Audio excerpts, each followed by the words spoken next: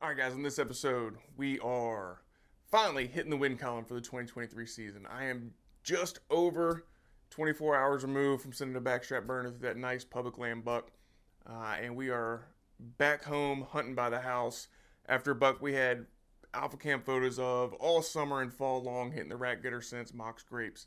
Uh, this was one of the bigger bucks that we had on camera last year and was one that I felt was old enough to actually put some effort into.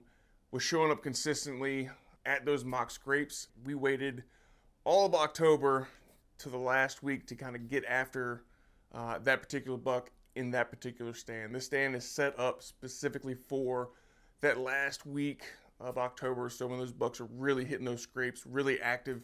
Um, and the great thing about that stand is it sits right up against a creek, um, and it lets these bucks walk that edge um, of that creek bottom and essentially scent check the entire property when we have a north or a northwest wind. And that's what we had today. So we got in, got set up, ran into a few little hiccups along the way, but it all paid off in the end.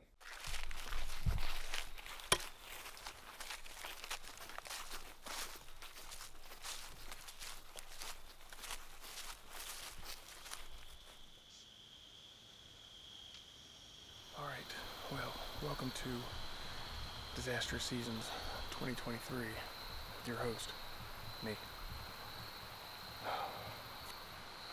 Hey, it's been a wild year. Good part, I've seen deer ever sit. Knock on wood, that continues tonight. The spot we're sitting in um, that I've been waiting to sit in until this part of the month. Bad news from missing a doe in North Carolina. Shooting that buck through the backstraps yesterday. As I was trying to do the interview the first time, I realized that my wireless mic cord that connects to the camera got broke when I put it into my bag. It's been really great. Been really, really awesome. Anyway, moving on.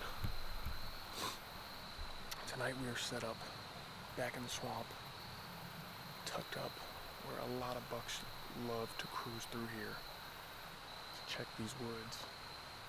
And uh, frontside creek here in front of us um, for does that are coming in to eat. Uh, unfortunately, I bumped a couple of does out towards the front of the property. But the reason we're in here tonight is we've got a buck. It's a big mainframe 8. I don't have a name for him or anything like that. He is just a big, wide, heavy 8. Um, he's been in here every other night. Pretty consistently, right about 6 o'clock. Every night, well, on those nights, we've had a north or northwest wind, and that's what we have tonight. And the buck that we're after has not been in here the last two nights, so he is due to come back through here. We're just hoping we get lucky enough to get him to stick to his pattern and we can get an arrow in him. It's a good spot. It is set up for the rut, this spot in particular. I've got a big creek back behind me, which has got a bunch of swamp and stuff way on back. Um, and a nice little funnel uh, that runs out in front of me. Where these bucks like to cruise in this back end. They got cover near them, and uh, they're protected, and they can pretty much smell the entire property when we have the wind we have. So, anyway, we're gonna settle up, get settled. We got in here late because it's just been going that way today. Forgot my harness at the house. I had to run back to the house and run back out here. It's been a whole thing. So, it's all good. Some of my best hunts have been when everything leading up to the hunt or leading up to the shot has gone wrong. So we can check those off the list right now. Alright, time to get quiet, get settled, get still. Wait for Big Boy to roll through. Hopefully stop somewhere in that 20 yard range we can pinwheel and get back on the wind street.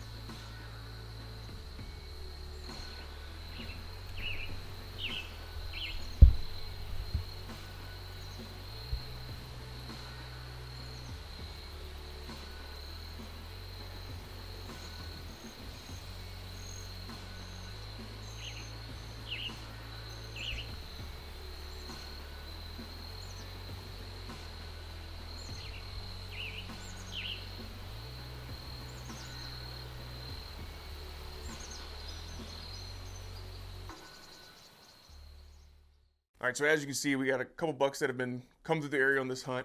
Uh, they are scent checking that area where these does like to bed along that creek system.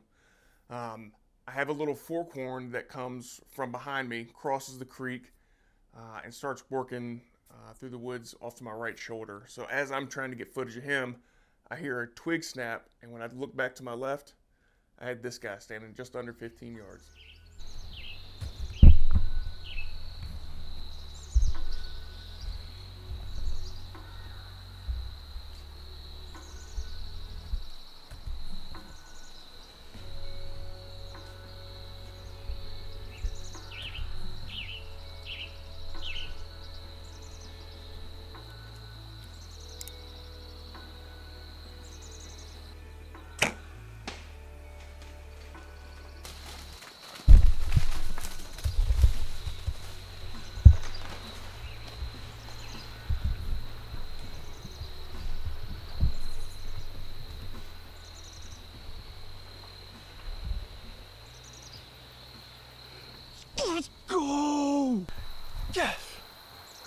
No messing that one up.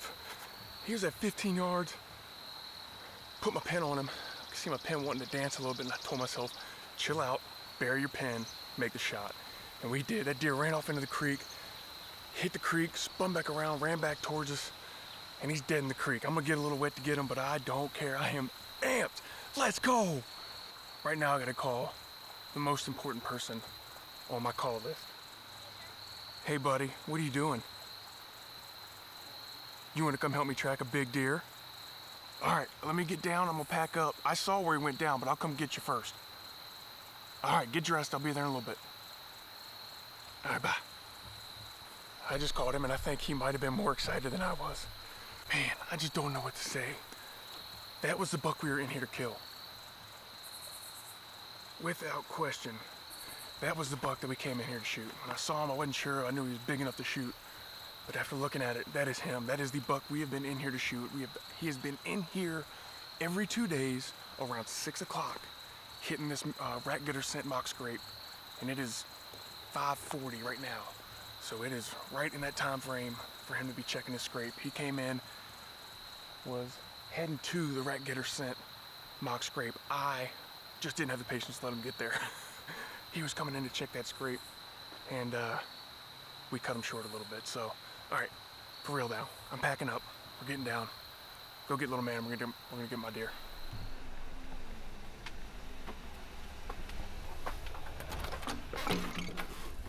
Okay, then. What are you doing? Watching videos. no, no way. You ready to go get a buck or what? Yeah. Hey, Katie. What are we going to do? We're gonna go find the buck. Oh, ain't no need to find him. I know right where he lays. I just need you to pull him out. Uh, uh, uh, uh, uh, not one bit.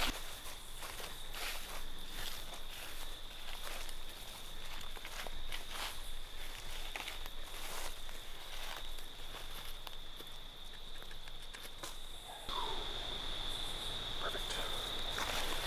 And our buck is right over here.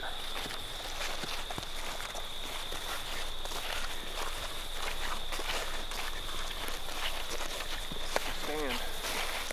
There it is. He's, uh, he's right up there in a double tree. Our buck came out of right here, walked out right here.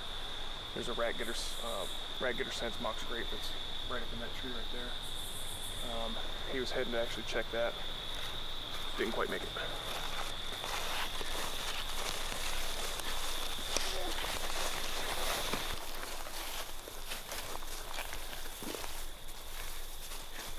He's about what I thought. A little bigger than a basket, but he's a good deer. Sweet.